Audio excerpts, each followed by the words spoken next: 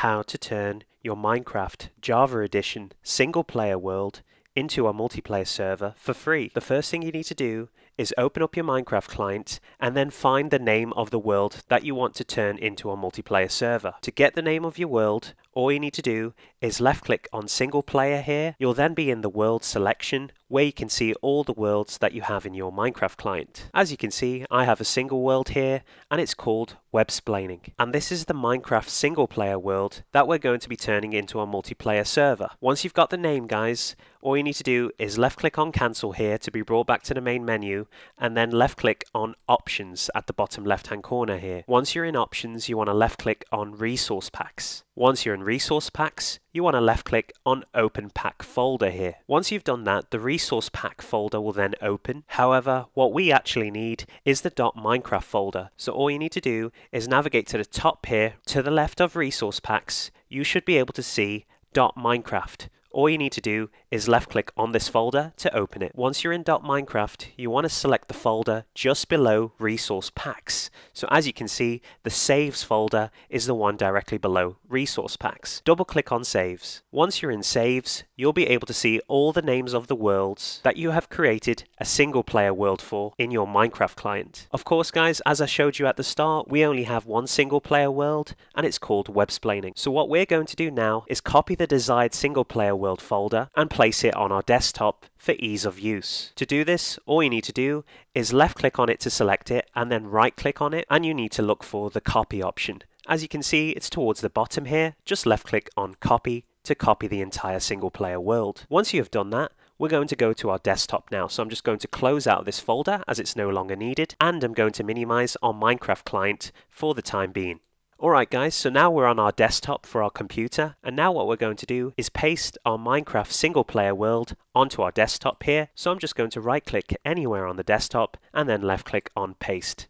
And there we go guys, we have now successfully copied our desired single player world. I'm just going to double click on this folder now just to open it up and see the contents. Great guys, so all our files for our single player world have been copied. Now what we're going to do is create a new folder and cut all these files and paste them into a new folder. The new folder that we create has to be called world. So let's do that now. So I'm just going to right click here in this folder and then I'm going to hover over new and select folder. Once you've done that, you want to type the following world, all lowercase, and then hit enter. Now what you want to do is move all the contents within Websplaining into the folder called world. So let's do that now. So I'm just going to highlight all of this and I'm just going to move it into world here and then I'm going to do the same with the top half here. I'm just going to select it all and move it into world. There we go guys, we have now moved all the folder's contents into a new folder called World. Let's check the contents real quick by double clicking on World. Great guys, so all the files are there now. Let's go back now so that we're back in the Websplaining folder and you should only have one folder called World, which contains your Minecraft single player world. That we're going to be turning into a multiplayer server. Let's minimize this folder now for the time being and the next thing we're going to need to grab now is the actual server.jar file to get this server up and running. So I'm just going to open up Google Chrome, you open up your desired browser, and then navigate to the following URL address, which is https colon slash slash www.minecraft.net slash en dash us slash download slash server. Once you're here, you'll be in the Minecraft server download section. So the first thing we need from this page is the Minecraft server jar file. At the current recording of this video, the Minecraft server jar file is up to 1.16.5. To download this jar file, all you need to do is left click on it. Your Minecraft server.jar file will then begin downloading. Whenever you download a jar file in Google Chrome, you'll get this little notification here warning you that jar files can harm your computer if you download them from untrusted sources. Of course, we're on Minecraft.net and we know this is a trusted source, so you have the option to keep or discard I'm going to keep it as we won't be able to turn our single player Minecraft world into a multiplayer server. Alright guys, our server.jar file has now downloaded. To find where it has been downloaded to, all you need to do is navigate to the bottom left hand corner here and left click on this arrow for your server.jar file and then left click on show in folder. And there we go guys, we've got our server.jar file here and what we're going to do now is we're going to cut this server.jar file and then paste it into our single player world folder in the same area as the world folder. Once you've cut the server.jar file, close out of your downloads here and then minimize your browser for the time being. Find your single player world folder that contains all your contents and then simply right click within that folder and then left click on paste to paste in your server.jar file. Great guys, so I'm just going to maximize this window now and the next thing we need now is the Minecraft server start command which will be used to start our server. Again what we're going to need to do is to open up our browser once again and make sure you're back on the same page where you downloaded the server.jar file. Underneath the server.jar file download text is the command to start your Minecraft server. All we need to do here is copy it and then I'll tell you what to do next. Once you've copied it, you can actually close out of your browser now. So I'm going to do that. Great, so now you should be back in your single player world folder, which of course will be turned into a multiplayer server. And what we need to do now is to create a bat file and paste in the command and save it. And this is what will be used to start our server. So all you need to do now is to right click within that folder anywhere in the white space and then all you need to do is navigate to new here and then go new text document. So I'm just going to left click on text document here and I'm going to give this text document a name. I'm going to call it Minecraft start command so you know exactly what it's for and then I'm just going to double click on it to open it here. What you need to do now is to right click and paste in the command you just copied from minecraft.net. I'm just going to move this to the side here so we can see what's going on within our Websplaining folder. So XMX and XMS are the amount of RAM your Minecraft server will utilize when it's running as an online multiplayer server. 1024 means 1 gigabyte. However, if you would like to double the RAM to 2 gigabytes, then all you need to do is change these values here to 2048 and 2048. And again, to triple the RAM,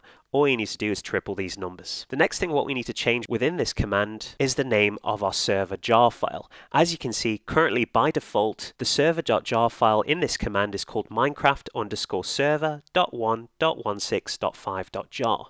Of course, if we look in our folder here, that the server jar file is actually called server. So what we're going to need to do is delete all of this here up to where it says .jar and then rename it as server.jar, exactly the same as our jar file all you need to do now is left click on file and then go to save as. In the file name section we'll be adding a couple of things here so all you need to do is left click here in the file name box then type the following BAT, which stands for batch file. And all you need to do now is left click on save. We can now close out of our text document here, which contains our Minecraft start server command. And now as you can see, you've got two different files called the same thing. The first one is our text document, and the one above it here is our batch file, which is what we actually need to start our server. So we no longer need the text document. All it was used for was to make the batch file. So we can just left click on it and then delete it. Alright guys, so we're almost there. Now we're ready to run our server for the very first time. It won't completely start as we still have a few things that we need to change. So I'm just going to quickly start it now. So all you need to do to start your server is to double click on the batch file. A command terminal will then open where you can see your Minecraft server start command. It will immediately close and you'll be greeted with multiple new files generated by this batch file. The file that we're particularly interested in is the EULA text document here. So all you need to do is double click on this to open it and we're going to need to change one word here.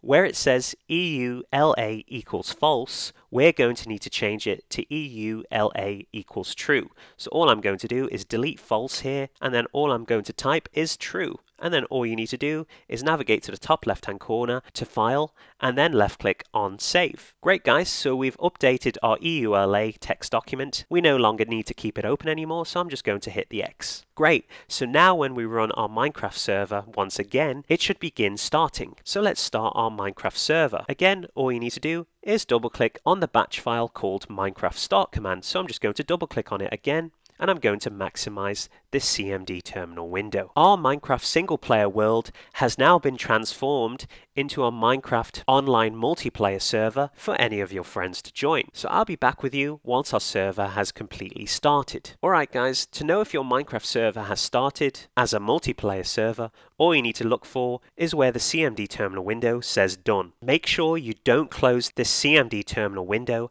as it will stop your Minecraft server. If you would like to have the ability to close this terminal window, then I'll put a card in the top right hand corner and in this video's description of a video titled How to Turn a Minecraft Java Edition single player world into a 24-7 multiplayer server using a VPS. For this free server you won't be able to close this terminal window or turn your computer off. If you close this terminal window or turn your computer off, your Minecraft server will stop for you and for everyone. However, following that video that I have in the card above or in this video's description below will give you a 24-7 server hosted online by a server host provider. The server host provider is one of my favorites and it's called Vultr. It's quite an affordable virtual private server. Alright guys, so all you need to do now is minimize this CMD terminal window. Remember, do not close it. We can close out of this folder now though. Now what you need to do is open up your Minecraft client. So I'm just going to do that now. And I'm just going to go back to the main menu of our Minecraft client.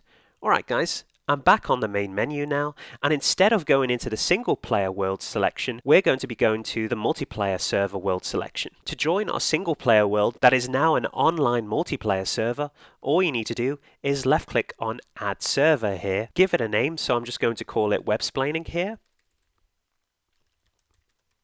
Because it's hosted on your computer, the server address can be 0 or it can be localhost.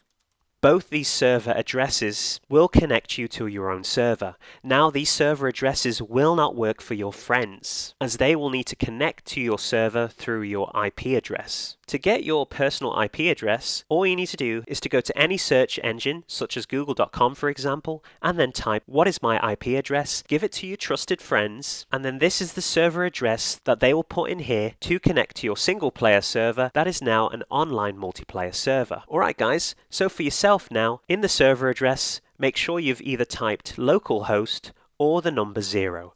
Once you've done that, all you need to do is left click on done. And there we go guys, Websplaining is now online and available for you and your friends to connect to. As you can see, currently there's 0 out of 20 people connected and we have full signal on our server. To join this server, all you need to do is left click on it and then go to join server at the bottom left hand corner. So I'm just going to left click on join server to be taken into our Minecraft world. And there we go guys, we are now in our Minecraft world, which is our original single player world, which we changed into an online multiplayer server, completely for free. That pretty much concludes the video guys. If you enjoyed this video, be sure to give it a like, comment down below, and most importantly of all, subscribe to support the channel. I'll see you on the next video.